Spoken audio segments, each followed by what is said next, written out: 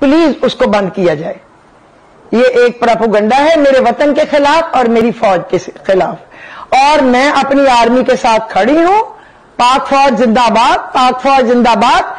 मेरी मदद की ज़रूरत होगी फौज को जब भी, पाकिस्तान को जब भी तो मेरी जान भी हाजिर हाँ। अगर फिर भी मेरे से कोई हमारी पाक फौज को कोई तकलीफ़ पहुँची हो, उनके दिल को कोई, उस जाली खबरों से भी वो हर्ट हुए हो तो मैं उस पर माफ़ी मांगती हूँ और ये मेरा फखर है, मेरी इंसर्ट नहीं है कि मैं अपनी फौज से कहूँ, अगर मेरी वजह से आपको कोई तकलीफ़ पहुँची है तो I am sorry for that खुदा हाफिज।